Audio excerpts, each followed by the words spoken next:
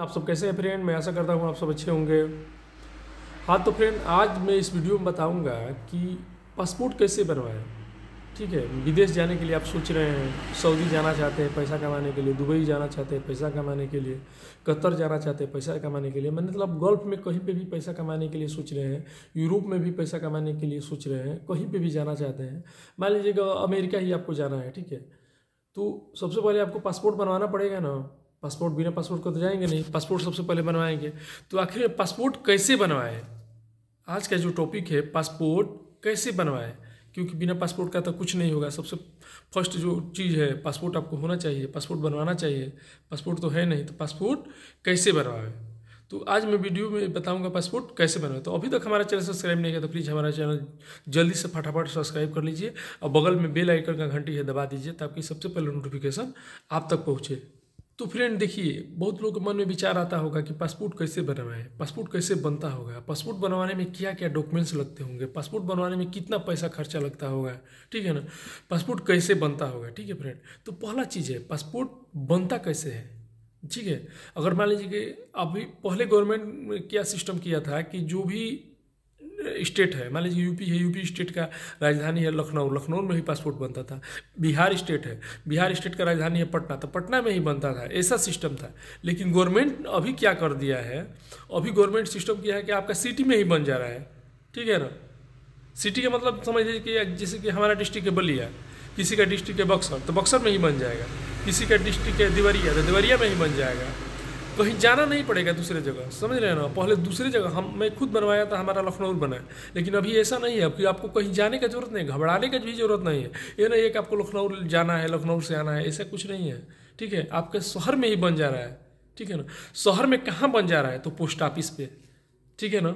जो आपके सिटी का पोस्ट ऑफ़िस है, वहीं पे पासपोर्ट बन जा रहा है। अभी इंडियन गवर्नमेंट ने अनाउंसमेंट कर दिया है कि अभी अभी से नहीं, लमसम चार पाँच साल हो गया चार साल, पाँच साल हो गया कि आपका पोस्ट ऑफ़िस में ही पासपोर्ट बन जाएगा। ठीक है फ्रेंड आप का जो भी नज़दीकी पोस्ट ऑफ़िस है, उसमें जाकर आप पता कर लीजिएगा। वहीं पर पासपोर्ट बन रहा है। ठीक है ना? आप कहीं जाने का ज़रूरत नहीं है। ये तो हो गया फ़र्स्ट टॉपिक ठीक है ना? पहला बात। ठीक है ना? कि पासपोर्ट आपके नज़दीकी पोस्ट ऑफ़िस में ही बन जा रहा है। ठीक है ना? जो ज़िले का पोस्ट ऑफ़िस है, सब ज़िले में ही बन जा रहा है। ठीक है ना? दूसरा चीज़ क्या है कि पासपोर्ट के लिए क्या क्या डॉक्यूमेंट्स चाहिए, ठीक है ना? आपके पास क्या क्या होगा तो आप पासपोर्ट बनवाएँगे मतलब आपका पासपोर्ट बन जाएगा। तो देखिए फ्रेंड, सबसे कंपलसरी चीज़ इंडिया में अभी जो डॉक्यूमेंट्स में आईडी है, जो सबसे पहला चीज़ है आधार कार्ड। आधार कार्ड आपके पास होना चाहिए। दूसरा चीज़ है कि मार्कशीट ठीक है ना? आप मैट्रिक किए हैं, आठ पास किए हैं, दस पास किए हैं इंटर किए हैं तो वो मार्कशीट होना चाहिए, ठीक है ना?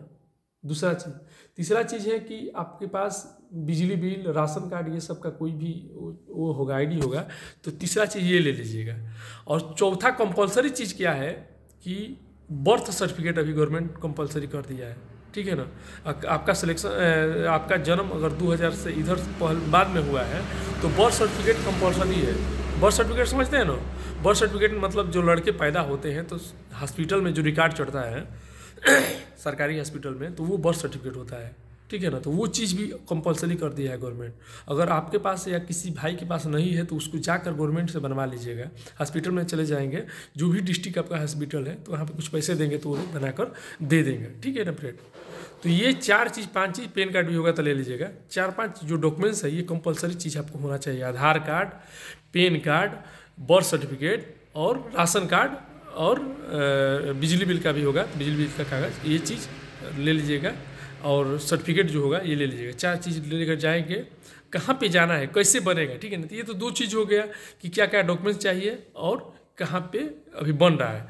तीसरा चीज़ जो, तीसरा प्रोसेस है, वो जानते हैं क्या है? वो ये है कि कैसे हम सबसे पहले आप पोस्ट ऑफ़िस पे चले जाएँगे तो आपको कुछ नहीं होगा, आपको वो लोग रिटर्न कर देंगे।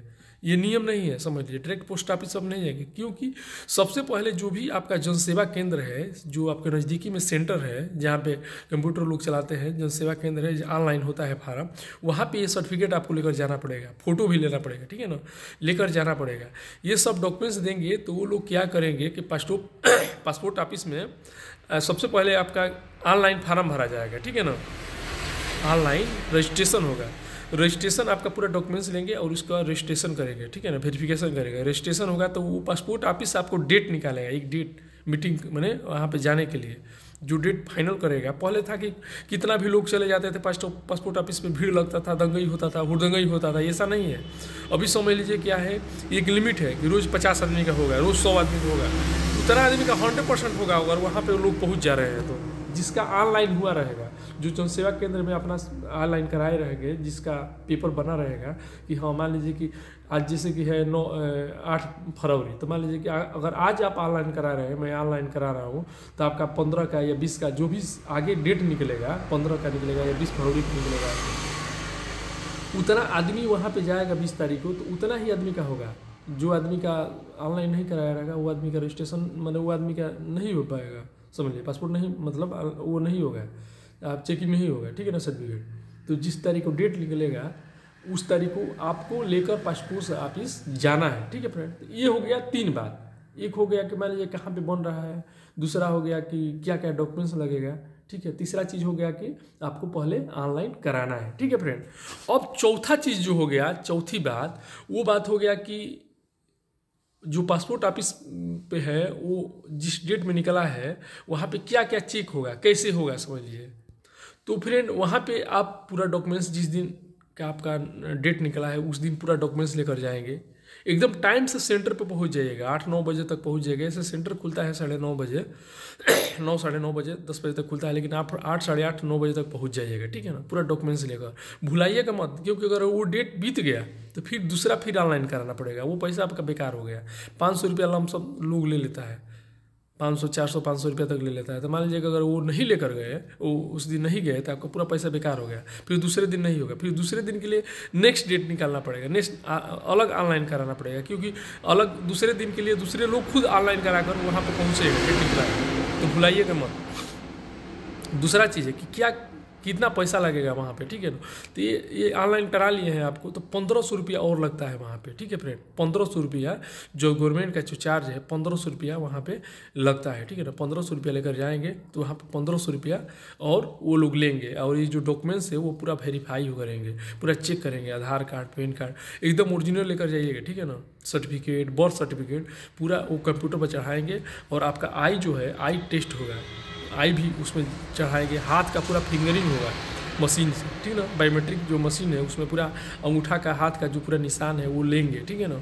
और आँख चेक करेंगे। आँख का जो वो है, वो उसमें निशान लेंगे, ठीक है ना? सब कुछ हो जाएगा, पंद्रह रुपये जमा, पंद्रह सौ रुपये जमा कर देंगे। उसके बाद एक पेपर काट कर पर्ची और आपको दे देंगे, ठीक है ना? वो पर्ची लेकर आ जाएँगे तो आने के बाद आपके पंद्रह या बीस दिन या एक महीने मैंने दस दिन, पंद्रह दिन के बाद आपका वेरिफिकेशन आ जाएगा थाने पर ठीक है ना? थाने पे वेरिफिकेशन आएगा, उसके बाद थाने से पूछताछ होगा, उसमें पुलिस वाले आपको इन्फॉर्म करेंगे या घर पर आएँगे, खबर देंगे कि भाई आपका पासपोर्ट बनने के लिए आपका मैसेज आया है, आप थाने पर आइए, वहाँ पर आप जाएँगे तो आपका कोई केस नहीं होना चाहिए। अगर छोटा मोटा कोई केस भी होगा तो उसको कैंसिल करा दीजिएगा, कुछ पैसा देकर, और पुलिस वाले कुछ पैसा आपसे लेंगे, पाँच सौ, दो सौ, चार सौ, पाँच सौ, हज़ार रुपये तक भी ले सकते हैं। जितना अपना, आपका वो है, कम से कम में अपना, उसको, कागज़ को क्लियरेंस कराकर कि नहीं, हमारा कोई रिकॉर्ड ख़राब नहीं है, वहाँ से भिजवा दीजिएगा फिर, ठीक है ना? वहाँ से एक चला जाएगा, उसके बाद से एक जो ज़िला है, वहाँ से एक सीबीआई के पास भी कागज़ आता है कि कोई क्राइम नहीं ना किया है कोई गुप्त, कोई वो नहीं ना है, वहाँ पे भी कुछ पैसा देना पड़ेगा, वो लोग को भी, वो लोग भी दे देंगे, उसके बाद से वो लोग भी लिख पढ़ के कि नहीं, ये बंदा अच्छा है, इसका कोई रिकॉर्ड ख़राब नहीं है, वो लोग भेज देंगे वहाँ पे, उसके बाद से जब ये दोनों रिपोर्ट चला जाएगा, उसके बाद से पासपोर्ट बन के आपके घर आ जाएगा।